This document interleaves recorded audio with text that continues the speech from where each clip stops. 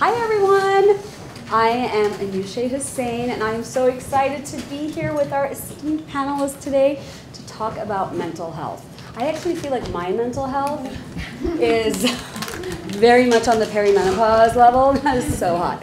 Um, but no, that's not true. Actually, that is true. Um, I feel like we talk about mental health um, so much, and especially I talk about it a lot in my work, and I think it has just become one of those things that you have to just uh, check off. And I got so used to telling people about the importance of um, taking care of your mental health and remembering to take care of yourself that I completely forgot to take care of myself.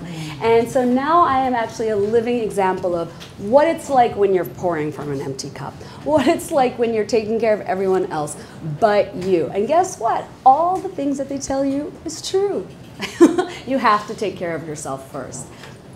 But I also feel like in this age and this time, there's so there's just more and more on women's plates that we mm-hmm. have to do. So while everyone's like, take care of your mental health, people define self-care and actually really taking care of yourself um, differently. So I would like to start with you, Dr. Al- Allie Sharma. She said just to call her Allie, but you know, if you're a doctor, you're a doctor. um, so there are so many terms now that we didn't have, you know, maybe when we were younger, like um, unpacking terms such as like burnout and self-care. And it's great that we have the language to describe so many things that we didn't before, but what do those terms actually mean? Like, how would you define them? Sure. So this is a great question. And first of all, thank you all for coming in. By the way, there's two seats up here if someone wants to come Oh, sit. yeah. Yeah. Okay. Yeah, come on up. Don't be One shy. don't be here, shy. and that- that's actually- there's, there's a Are you bag. there, yeah. No. Okay, great. So, so look, what is mental health? And I want you to think about your life for a second. Who surrounds you? Your loved ones, if you have children, elderly. What does mental health mean in your ecosystem? Just think about a few words and just kind of p- create some space and pay mind to it. So, in that context, for me, mental health is how we feel and how we function. It's a very simple way of saying it. I just find it, to me, it sort of summarizes what mental health is. And mental health can be, your mental health can be good if we think about how we feel and how we function. It can also be challenging and everything in between. Now, to broaden that, mental health is also officially um, emotional well being, social well being, and your psychological well being. And so, and I, I, you know, mental health is, we, we do use that term pretty easily, casually, and lightly, but let's break it down a little bit more than that. So, as you think about mental health, is anyone willing to say just one word? What does mental health mean to you? Any volunteers, any brave people in the audience, or panelists? Stress. Stress. Therapy. Therapy. Someone said calm. Calm. Calm. Conscious. Say that again. Conscious. Conscious. Conscious. Conscious. Breath work. Breath work. I love this. Balance. Balance, catharsis, awareness, Awareness. clarity, Resilience. resilience. Oh, we're getting this is good. This is like a well-rounded. I love this. Anything else? Harmony. Mindfulness. Something else back there. Harmony. Harmony, Present. presence. I love this. What about the harder stuff? You mentioned stress, anxiety, Depression. Depression, and everything else. Right? There's a lot there, and we can re- trauma, Trauma. exactly, Debilitated. debilitating. Debilitating anxiety. Yeah, exactly. Exactly. So it can be all of those things. And I think the first point that I want to stress is that how you feel, whether it's anxiety, depression, sadness, happiness, elation, all of that's normal. They're all adaptive and healthy responses to things in our lives. And that's great. But when is it an issue? So the next level I like to talk about is um, emotional distress. So a lot of people experience emotional distress. You wouldn't be human if you didn't experience emotional distress. And so distress is a temporary disruptor in our lives. That's the way I like to think about it. So it can temporarily affect us, how we feel and how we function. But then when is it a more serious issue? So I like to use the term mental health conditions. I find it less stigmatizing Eh, instead of a mental health disorder. I find that very stigmatizing. But if we talk about a mental health condition, it's when symptoms like sadness, depression, anger, elation, even, are prolonged, persistent, and severe. And they interfere with our functioning. So then how you feel really impacts how you function. And that's a mental health condition. So that's the delineation between like just feeling things and then mental health condition. So I hope that kind of sets the stage for like how I think about things as a psychiatrist. Um, and by the way, I am a practicing psychiatrist. Uh, for those of you who may not know, and I have a clinic that we focus on anxiety, stress, depression, and trauma, but mental health is obviously more than that as well. Now, the other thing you mentioned was burnout, and then we'll talk about stress in a second. So, what is burnout? How many, based on that word, how many of you have felt burnout? Most of us, exactly. and um, burnout is actually a uh, workplace syndrome that is recognized by the medical field, not as a medical illness, but as a workplace condition. So it is exactly, and it is recognized by the WHO, by the International Classification of Disease, the ICD-11. That's our disease system. And what is it? It is the root cause is chronic workplace stress. So that could be, let's say, like most. My dad was a CEO, former CEO, and he always says most people quit their boss Yes. right? So a lot of times, at least in my practice too, right? It's relationship stress. It could be your boss, but it could also be your colleagues. It could be your team. It could be your vendors. It could be your clients, right? All of that. Um, it could also be the work and the volume, or your dissatisfaction with the work based on it not resonating with you. I mean, there's so many ways that uh, that you can feel workplace discontent and then chronic workplace stress. And then what happens over time? Three things are sort of common. So one is reduced effectiveness at your job. You just can't do it at the level that you used to do it. Um, the next thing is like feeling really depleted or exhausted, right? We all probably have experienced that. And the other thing, which is interesting, is like distance from your job, where you know maybe your job was a source of pleasure, or at least you were engaged, and you can become really distant from it, or cynical, or even negative around it. And the great thing is, what alleviates burnout? Taking a break. So, so, and I always wonder, like in the medical community where there's a high rate of burnout, I was working in these hospitals where people weren't using their PTO. And I always use every day of my PTO because I like that. But a lot of people don't take that liberty, whether it's not giving themselves permission or whether they feel like it's not, they're not supposed to, or whatever else, whatever other considerations there are. You know, and so the difference between burnout and depression, for example, because they can feel the same, is that if you, if you have a depressive episode, and you take a break from your workplace, you're still going to have the symptoms, and probably more when you create that space. So that's a little bit about burnout. Now, one more thing, if you don't mind, stress, and then so let's talk about stress. And I actually have a definition that I wanted to read. So, and I, I like this. This is from the WHO. So, stress can be defined as a state of worry or mental tension caused by a difficult situation. And so, it's a natural human response in response to challenges in our life. But chronic stress is the issue. Chronic stress can lead to insomnia, can lead to health issues, both health and mental health issues. We know it's linked to diabetes, like insulin resistance. It's linked to cardiovascular issues. You know, it's linked to anxiety and depression and so many other health issues. So it really is up to us. The first step is self self care. How do we take care of ourselves on a daily basis? And by the way, I'm feeling really hot too, so it's perimenopausal thing, and the weather outside. So, so how do we take care of ourselves? Our, our first is like, do just actually each one of you think, do you give yourself permission to take care of yourself? Do you carve out time daily? And I mean even five minutes of your day where you have complete silence, where you're staring at the wall or looking at a candle or with no one around you but you. Do you allow that for yourself? If the answer is no, then you need to do it.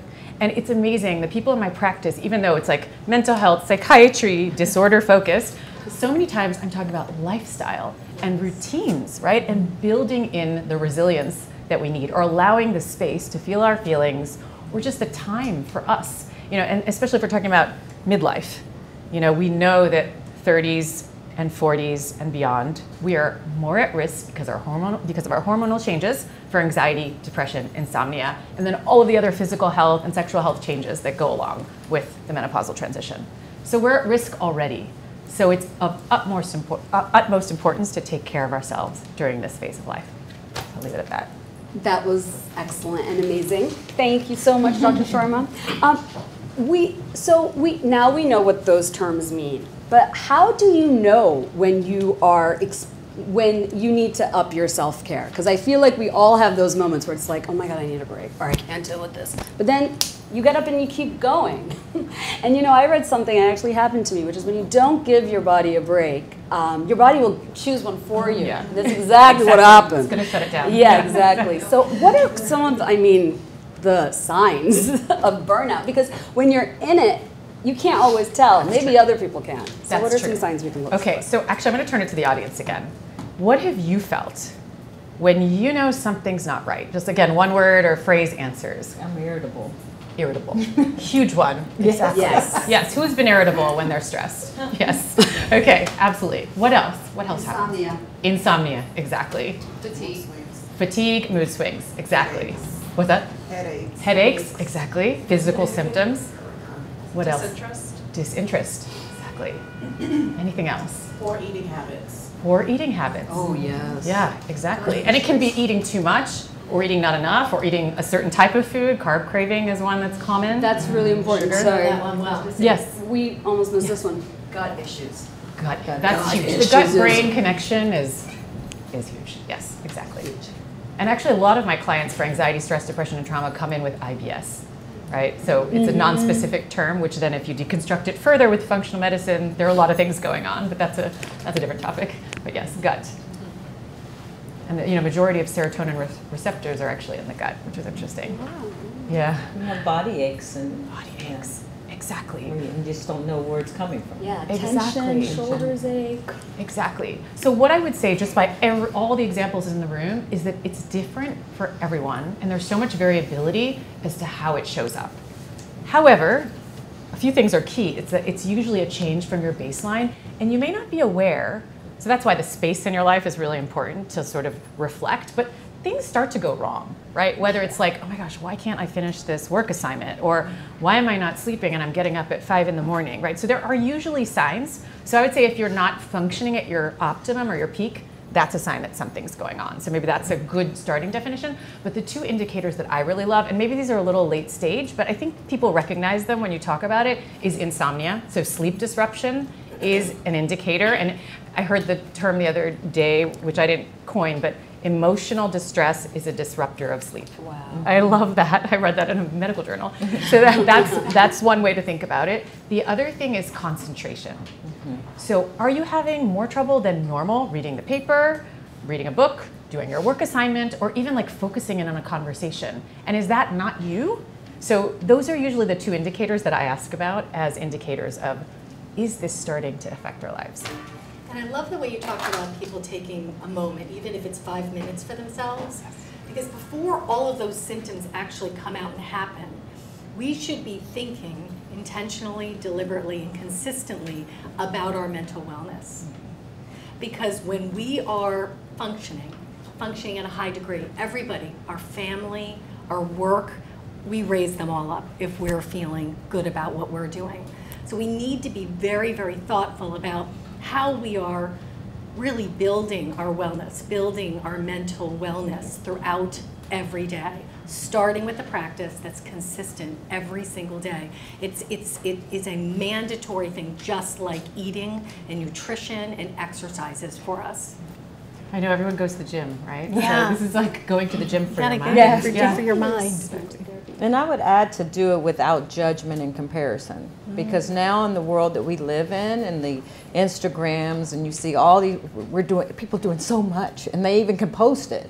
And there's days where I'm like, how? Like how did you even capture that? And how do you have your phone with you all the time to do all this while you take care of children, why you do your why you do all this stuff, you cook dinner and how are they finding time?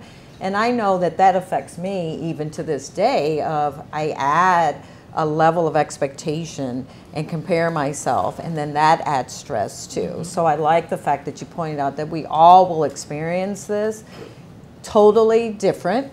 Some are similar. There's some similar things that we will all experience as a, a, a side effect of stress, but then doing the inventory, doing the scan, and just saying, "Whoa, write it down." Because sometimes you know you feel you feel bad complaining. We do so much for everybody else that we we feel bad complaining, taking the time, all that well, nobody wants to hear us whine, or we don't have time to do it. You know, just write it down because that's also what I found to be a release is you just get it out, yes. and we just suppress so much. So, yeah, Well, Christina, I wanted to ask you because you do so much work with um, leadership and leaders. What are some of the strategies that you see your clients needing most or m- most important that you would want to give them? This room is filled with high achievers, women who are doing amazing things in the world. Oftentimes, we try to outrun our stress. We try to outrun our mental health. And when we are outrunning it, that's when we are depleting ourselves. And think about your mental wellness as a bank account. We, we take withdrawals on it every single day, whether we're distracted, whether we're stressed or triggered by something, whether we have a detour in our day. Those are withdrawals. And we need to not only make enough deposits into our mental wellness every single day, but we want to make more than the withdrawals. So, as I said before, I think that having a practice that has exercise, that has nutrition, that has community, there's nothing better than filling your cup, than having connection with people. And we know that there is a loneliness epidemic happening right now also women in midlife, we have become so much. We've become high achievers, we've become rising leaders, we've become wives, we've become mothers. And oftentimes in the becoming, we have stopped becoming ourselves. We've lost sight of who we are, we've lost sight of our purpose. Purpose is so important, particularly for leaders.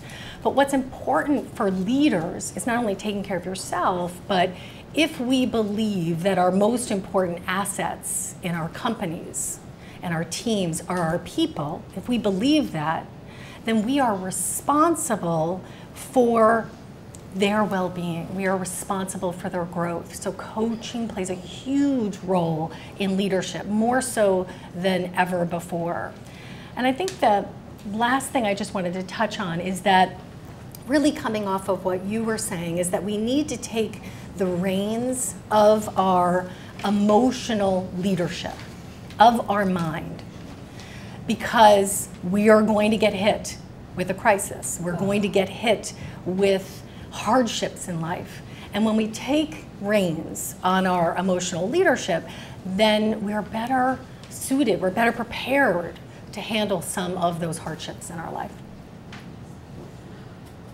That is so true. Sorry, I just went on a whole, that put me on a whole different path because I was thinking about the other thing about middle age, which is so hard, tying kind of back to how do you know when you need to take care of yourself, is that there's so much care of other people's care that yeah. comes on, which you hear about and you see in your movies. And I remember looking at my mom when I was young and I was like, I'm never going to do any of this. and now I'm like, oh my God, I live in a different continent. Why am I getting the same crap that was poured on my mom's plate? And it, it, it happens to you and you don't even know. You're like, I don't want this responsibility, but no one else is taking it. I have to do it. So it gets even harder because you're literally taking care of your kids, your pets, your parents, and then you're like, oh my God, am I in perimenopause? Do I need to take care of myself too? So in a way, I feel like we have to take care of ourselves. It really is the only way anybody else is going to survive, um, at least in my house. I wanted to talk to you, Sonya, about your daughter. So tell me about your daughter and the work that she does in mental health and how you have been able to work with her. Well, my daughter is Sydel Curry Lee, and she has a platform for mental health. And um, it's really funny because my, it's not really funny, but um, you know, one of the things that she always tells me, and her mantra is, my mountains are my mountains.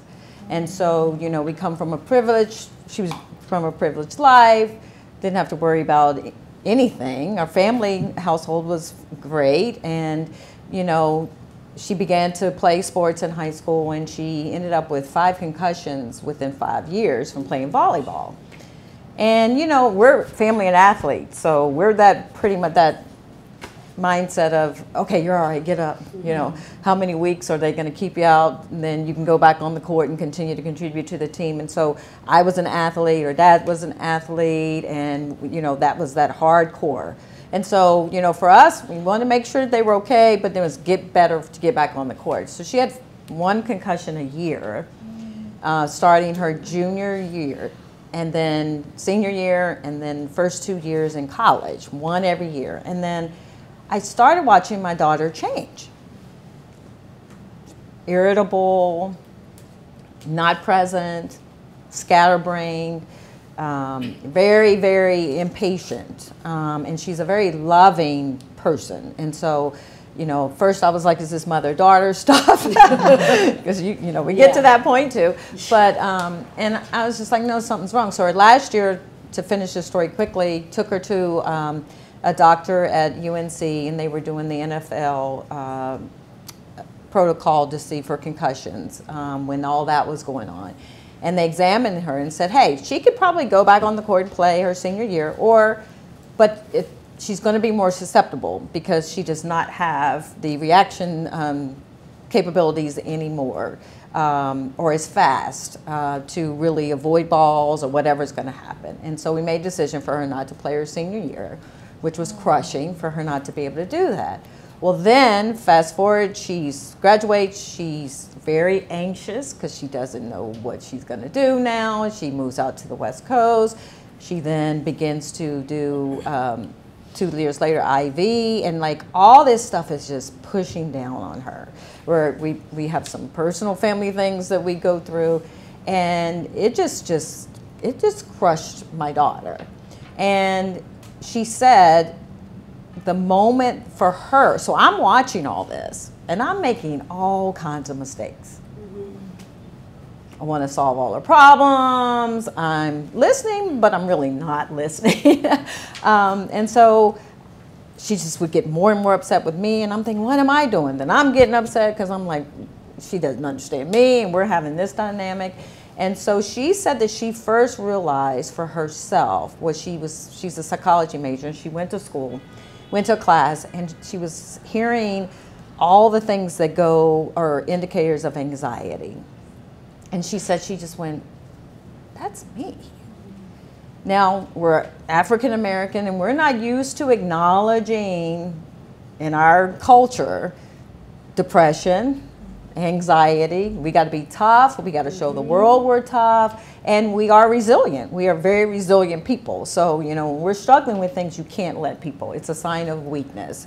Um, and so I'm kind of doing that with my daughter, and I don't even know that. You know, it's just what, what how I was raised. And so she said she came back and she was like, "That's me."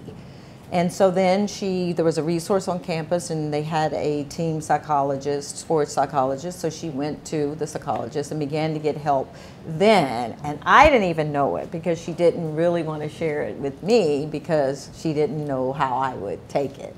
Um, so I, my daughter dealt with this for several years without me even knowing.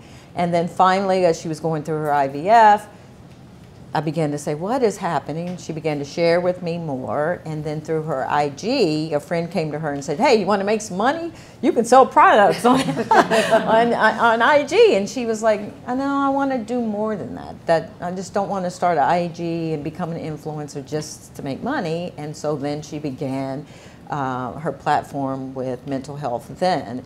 Um, and what I've learned along the way, just from watching her, and I still get upset about it because I worry that how much my daughter suffered actually by herself, but um, that our mountains are our own mountains, and we can't judge other people. We have to listen. So, giving a safe space for people to just talk Yes. and listen and ask them, is there anything I can help you with? If they say no, they say no, but then you just offer it. And then if you can't help, you can't help, but be honest about it um, and just let them know that you're there to not judge and to just listen as well. And then I started educating myself. Started with her IG and watching the stuff, and then she would have. Uh, you know, some live uh, guests come on, and I would watch those and just enlighten myself. And then I started realizing, oh my gosh, I went through that myself. Yeah. I crashed. I graduated, I mean, retired after 29 years of starting my own school, running it for 29 years, and went through depression after I retired because those are major times in lives when we go through that and we don't our bodies are used to being in a rhythm and we don't know what to do. What's our next purpose? T- literally crashed. Got sick, got sick, got um, went through all that gut thing that happens with not being gluten free. thankfully, I wasn't anything worse than that, but um, shingles, everything in a three month period, my body just said, enough is enough. So it will happen if you do not take care of yourself, your body will uh, tell you. So I realized that, and then I realized, wow, we have a history of it. My mom, depression, ended up going into um, a mental institute program um, to deal with depression and um, through relationships. Um, and that was another thing that my daughter went through was her freshman year. She uh, senior freshman year was with a guy, and he just verbally abused her, and I didn't know. I had no clue, and she just suppressed that, suppressed that, and a teammate of her finally told me, "This is what's going on," and she struggled. So she concussions, relationship uh, abuse, and just all this. And that was a young lady then. She was 21, tw- 19, 20. Um, and then that everything just gets compacted unless you get help. And so uh, watching her be brave enough to go to a therapist. So now I go to a therapist um, because you need it, you know, you, and you need somebody who doesn't really know you, um, who can be very neutral about it, and there's no shame in it um, whatsoever, and um, just talk. So, you know, I sum that up to say she's taught me a lot about educating myself on it, and then two, finding a, a safe space, somebody, whether that's a professional or not, um, not isolating myself because you will want to isolate yourself. You can't. You gotta let people knock on the door. You gotta take people's text messages. You gotta do it, and it's scary. You gotta let them in, You gotta let them in. we were built. We were created to be in community. God created Yes. Adam and said he needs a helper. And God created us. God created us because He wanted us. He wanted a family. So we are built for community. So we can't isolate ourselves. And then we have to take the moments. I mean, take, she's learning that now with two children. Take the moments to just breathe and don't feel guilt. Just tell that guilt to go away. We don't have time for guilt. You bring up so many important things, and one of one of the things that I really connect with is well, first of all, the dynamics between mothers and daughters. Because my 12-year-old is about to turn 13, and I'm like, why do you have to analyze everything? Why are you questioning everything? I'm like, oh my god, this is my child. I was like, listen, I really want you to be like empowered and go challenge the world, but not in the house. The house is not a democracy. I am a leader. But it is so important about therapy. I will say that I've lived in the States for 25 years, more than 25 years, but I was born and raised in Bangladesh. And I didn't even, even though therapy is so normal in the States and everybody's in it and it's great, it's so funny the weird ideas I had about it. And now I am finally in therapy. And can I tell you something? Everybody needs to be in therapy, especially black and brown people, because we have pushed it away. And what is it? It's because they're, you know, white women are weaker or white people are this and that. And it's like, no, we all need to talk it out. And this thing of keeping it in and keeping your, what is it, you know, don't hang your dirty laundry, out to Laundry, dry. I mean, I really think, I don't want to generalize, but I really think South Asians have taken that very seriously. We're like, how do we make women continue this for eons and, and millennia? And I think it's starting to break with South Asian Americans also in, in, in the US. So I think it's so exciting. But I noticed this with my daughter as well because First of all, it's really scary. It's really scary to be a mom. Did you guys know this? No one told me this. um, but now that I am one, you just want to fix everything for them. And it's so funny because the other day I was like, Ava, Ava, you don't understand. You have to do X, Y, Z. And she was like, Mom, you didn't even grow up here. You grew up in Bangladesh. I was like, oh my God. and then I was like, oh, she's right. I actually have no freaking idea. And I don't know anything about this phone. So I was like, oh my God, I can't believe she made a point. And she's Yeah. right. I'm like, anyway, but it is, it's so important to, to shut up and listen to your kid. It's incredible because you know what I realized? Because it's, it's also very strange to be a mother when they think you don't know anything or you haven't experienced anything. It's like, okay, I have been around um, for a little bit. Is that, you know what, just shut up and listen. I have so much to learn.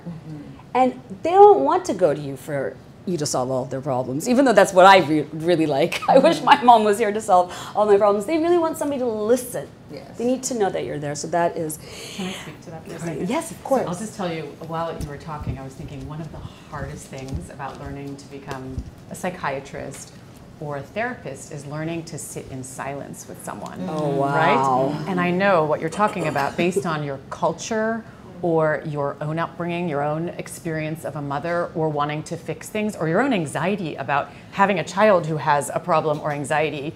It's, it's also, you know, it's a not knowing. We're not taught these things. We are taught by example, and those examples may not be perfect or even close to what is, is right. But like the hardest thing, even for me, and I come from an Indian family that doesn't talk about emotions, um, you know, was just to learn to sit with a patient and, and just when they were silent, don't say anything. Like just let them think. And always when you learn, because there might be discomfort for me, but when you have that silence, always something comes up for the person because you've created space for them, right? The space that we were talking about that we don't have.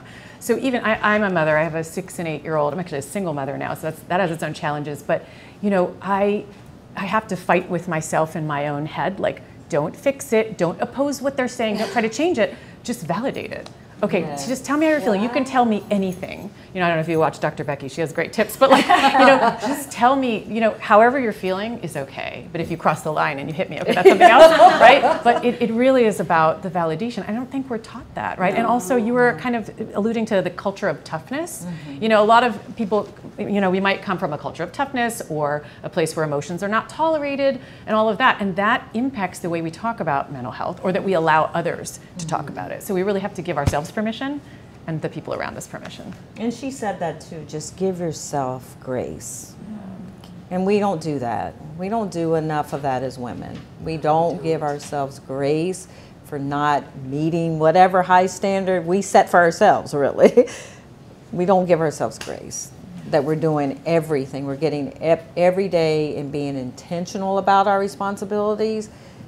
That's enough. If you can be intentional about your efforts every day, at night you should give yourselves a lot of grace for the clothes you didn't get washed, the meeting you maybe felt like you didn't do as well in, the well, I, did, I wasn't able to make it to one of my children's sporting events or activities and or I was late getting there and I missed some. I mean, there's so much at the end of the day we can just hammer ourselves on. Give yourself grace. Let it go. I, I, there's a thing that this guy told me one time, and he, it's a story, I guess. And he comes home every day and he goes to this tree in front of his front yard and he touches it, and then he goes in the house. And a friend of his was visiting one day, and he goes, "What are you doing?" And he goes, um, "That's my uh, worry, my worry tree." And he was like, "What?" And he said, "Yeah, I come home every day and I put my whole day on that tree and the worries and the incompletes and the failures because when I come out the next day, I get to choose which one of what what of that I want to take off the tree and take into tomorrow. So tomorrow, let go of today, the present, when it's done. Because trust me, whatever is going to be there tomorrow, it's still going to be there. Yeah. But part of mental health is being able to release and let go and ta- handle what you can handle. I also think it's interest. It's important to kind of like check yourself. Do you actually know what that means? Because I feel like yeah, yeah. So for so long, my girlfriends were like, "Anush, we love you. Please, you have to go to therapy." I'm like, no, we're not going to just talk to someone. People really don't understand what therapy is. Really, it's not just talking to someone. Having an outside, I mean, I know you know you're a psychiatrist, but having that outside perspective, sometimes just the questions your therapist asks you is so on point or thought provoking that you're like, I had never thought about this in my life, or nobody has ever asked me that. So I think that's another thing. Like, I thought I knew what anxiety was because everybody around me is anxious, and my sister has like debilitating anxiety. And you know, most most people that I know that have anxiety really they have difficulty making decisions, or they can't leave the house. So I always associated it with that. Then it turns out I am high functioning anxiety. I'm the opposite of my sister. she shuts down, but I just want to accomplish, accomplish, accomplish, and just check things off my list. So another thing is, you have it's just like we do with depression. Depression isn't what you think it looks like. It doesn't show up the way that you think. Anxiety and depression, you know, they're they're kind they go hand in hand, and it's interesting how similar I think also anxiety is because even now I'm in this field. I work in women's health, and I was like. I really didn't understand what therapy or anxiety meant. I didn't get it. My husband's mm-hmm. like, that's great. Let me tell you what it is. So it's so funny. I just have to comment because I also realized this in my mid 20s. There's actually a, a term for what you described. Oh, really? Which is really cool. When I learned it, I was so excited. It's called a manic defense. Mm. So, meaning, Ooh. meaning, and this is a psychoanalytic term, but meaning you have emotions or you have early childhood experiences or things that you're not dealing with, or you're the type of person that compartmentalizes, you push away your feelings mm-hmm. automatically, you don't feel them. And some people, yeah, exactly. No, a lot of us do this. And some people, it, it really, you got to look at how you cope. Some people actually do more to run away from those emotions. You don't realize you're doing it, it sort of like happens automatically. But have you ever done that and you're running and running and running and then you're like, I'm burning out, I can't run anymore. Wait, I'm starting to feel bad. What's happening? And then it shatters and there's usually something emotional underneath that. So I even sometimes have to call myself in check and be like, why am I like sped up a little bit? Why am I doing? And often there is something underlying. Manic defense. So a what is it, manic like defense. mechanism It's, a, it's, to a, it's your it's your mind or your body or your your being protecting you from feeling those painful feelings. So how can I overachieve to not feel bad or sad? Yes. Oh, manic defense. So when you think about it, we have 60,000 thoughts a day. And of mm-hmm. those thoughts, it's wonder what, what, that we have mismanaged minds, right? 60,000 thoughts a day. 80% of those thoughts are in our subconscious. Mm-hmm. And 95% of those 80 are running on repeat. Mm. yes. So we are saying negative things about ourselves all day long. And I love that you said give yourself some grace. And I love the let go tree. I'm calling it the let go tree. Let go tree. But what we also have to do is recognize all the things that went well today. Yes. We go to bed and we're like, oh, I wish I should have showed up in that meeting. I wish I had been more attentive to my daughter. And what are the things that I did really well today? It's really hard for women in particular to recognize themselves, to give themselves credit because we think we should be humble. But why are we being humble with ourselves? Why don't we tell ourselves that we did a pretty good job today? And just that switch, just that exercise of recognizing yourself can allow you to go to bed with a little bit more peace. Yeah. Gratitude. Yes, it's gratitude. exactly. And you can even acknowledge one thing that didn't go so well, and then two things that did. That did. Yeah, just like an over focus on the positive. Yes. Yeah. Um, we are unfortunately running out of time, but you know I could talk all day about mental health in my family, and especially with our amazing panelists. Uh, so I'd love to open it up to the audience. Sure. Um, so thank you all for doing this today. Um, so I have endometriosis, um, and it's a condition that causes chronic pain. So I just wanted to know what your perspective is on how to utilize mental health to maybe assist something that's more physiological. Yeah, That's a great really question. good question. So, here I'll say one thing because obviously mental health care has to be tailored to you, right? Yeah. You have a specific psychology, a specific physicality, a specific spirituality, if that's there, all of those things.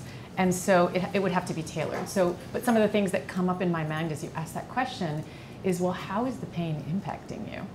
You know, for some people, I've seen that, you know, with pain can come excessive worry or excessive frustration, and it can spiral in different directions based on who you are and your core beliefs.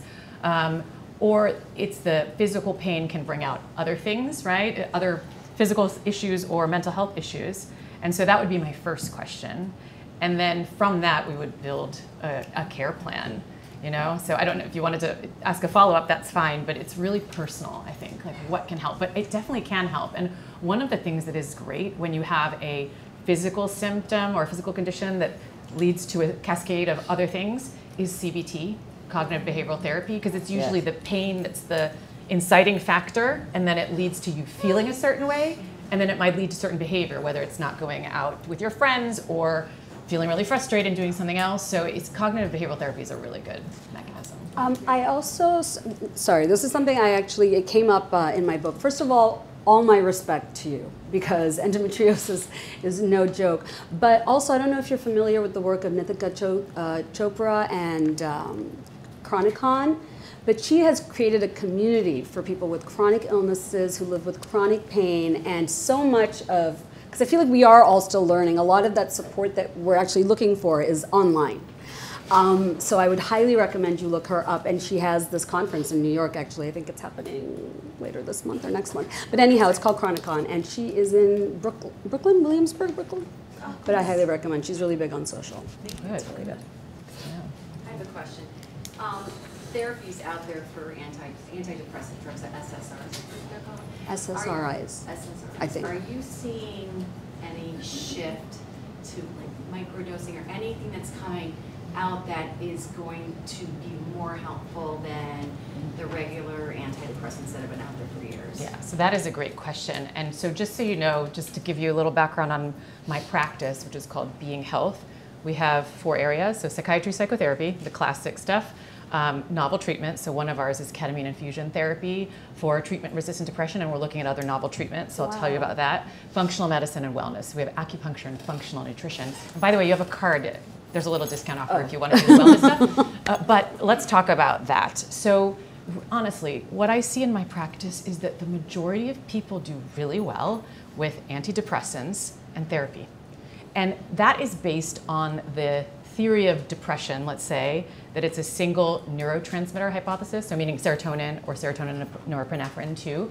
But we also know now that there's a lot of other causes, root causes of depression. So um, there is brain, there are brain considerations, the frontal cortex, the amygdala, there's metabolic considerations, there's inflammation, right? So we know that you really have to take a 360 degree view. And again, it, like I said to your, your, in answer to your question, it really is a personalized and tailored plan that can help someone. So that being said, so let's say about two thirds of people who have depression do really well on therapy and meds or, or meds. Um, there are there's about 30% have something that's called treatment resistant depression. And the definition is that you don't respond to two trials of medications. Um, so for those right now, we can do ketamine treatment. Um, we have there's a intranasal form. We do IV. There's also IM. And then also what's coming up, which is really cool and exciting, because the tools in our toolkit haven't changed a lot over time, even since my training or the last 50 years. But there's now 50 plus clinical trials on psychedelics. And the ones that the ones that I'm watching, psilocybin for major depression, is showing such good results, and it was sort of fast tracked through. And the the dose is really low, so it's you know people come into me saying I've been microdosing. I'm like you're actually macrodosing. That's not a microdose. Tell me your your grant. Yeah, I'm serious. And people, just so you know, like there's You're a actually high up Yeah, yeah, yeah. No, and people have been using um, not under clinical guidance, and I've had to hospitalize people. People get Oh suicidal. So these psychedelics are not for everyone, but there's a lot of recreational use, and a lot of people have these amazing experiences on it. But the, the clinical trials show a very low dose, two doses of psilocybin within a 12 week period of psychotherapy where you prepare, where you integrate, and you do the therapy piece of what comes up in the sessions, and then you move forward. It's really like a it's a facilitator. So that's really good. We're also watching LSD for generalized anxiety disorder. It's fast tracked through its, its breakthrough status, so it's been like flagged because the clinical evidence really, is really Wow. great. Yeah, and then there's others as well, but those are the highlights. The psilocybin uh, and psilocybin for alcohol use disorder, which I think is a phenomenal breakthrough. Wow. Because Wow. you know, alcohol use disorder is a very difficult thing to treat in my experience, and if we this this is showing to be promising. So there's a lot How going on. Yeah, and oh, one more, sorry, MDMA for PTSD. That's also a lot of veterans are in clinical trials, so that's also showing very promising. promising. Thanks, thanks for that question. It's a novel treatment. We have a question back here. Oh, So you hear like a lot about resiliency, and so my question is like, what if you run out of resiliency, like, are running out? what is, is like, are there any suggestions, guidance? Like, it's, it's almost like I don't want to hear be resilient anymore. I don't want to be resilient anymore. I hear you. Okay, exactly. I'm talking so much. Do you want to answer that? Okay, so an amazing um, psychiatrist on our board, who's the head of mind body medicine at Harvard, he talks about the ratio of toxic stress to resilience. So it's that ratio that's really important, meaning if resilience declines, the effect of toxic stress is going to be that much greater, Yeah. right? Or if toxic stress declines, you're going to feel better, right? So you're talking about how do you take care of this bottom part, right? The, the denominator. So how do you build resilience? Um, there's a lot of answers to that. And again, it's taking a look at your life and what's happening in your life. But let's start with the basics sleep. Like, is your sleep optimized? Are you sleeping seven hours a night consistently, or whatever your consistent amount of time is? Are you a six hour night sleeper? Let's think about nutrition. Are you thinking about a balanced diet and thinking about those factors that might cause inflammation and really impact your resilience or your mental health? Let's look about livelihood and work. Where are the stress points? And why are you feeling depleted in terms of that resilience? Do you need a recharge and a reset? And what can that look like within the constructs of your life? You know, and then let's think about tobacco, alcohol, drug use, right? Is that, and even caffeine, right? Is that impacting you? And then beyond that, what is the stress, right? And is the, is the stress a pattern of things? Is, it, is there something you can work on to decrease that stress? You know, or do you need to take time off, right? And help from your loved ones to do that, right? So there's, there's a whole way to think about that. And then if it's a mental health condition, then talking to a licensed mental health professional or start with your doctor to look at are there physical health issues that are leading to that depletion in your resilience. Physical health is so important as And well. is there something to the difference between identifying the stress in your life? Like, Yeah. is it distress or is it you stress? And so we sometimes will lump all stress Yeah. into one thing when there's really some good stress that propels us to mm-hmm. be at, Or it might not be your stress. right. Actually, I have an answer, a non-medical answer to your question, which I've just discovered. It's boundaries. Yes, boundary Boundaries. People see you're resilient, you keep being resilient, they think you're just resilient on through life, and they're gonna suck that resilience off of you. Recently, I've been like, I'm so worried about XYZ, and then I'm like, oh my goodness, it is actually not my problem. it really isn't. It's this person's problem, and she's not worried about it, so maybe I shouldn't either. So, really, I think boundaries is a big one. Another word that you hear, but do you really know what that means? It's not really, you know, being rude or being a bitch, which I highly recommend, um, but just saying no, or maybe not, or just more direct. We're saying yes. Yes, boundary setting is Boundary big for mental settings, health. huge. Setting is good. Caro, for I know you keep health. looking at me. Yes. I don't know if it's Very because you good. want to hug me or tell me to Hashtag right wrap up. Very good. I mean, I would continue forever. There's a great book for that too. If you heard Boundaries, it's called. It's a book called Boundaries, and his name escapes me, but I can tell you. Yeah, I'm gonna come out. Just look at yeah, I've been- look it up on Amazon. I've been through the whole program. I probably could tell you all about all the programs that are out there. Thank you guys so much. Thank you to our panel for all your insight.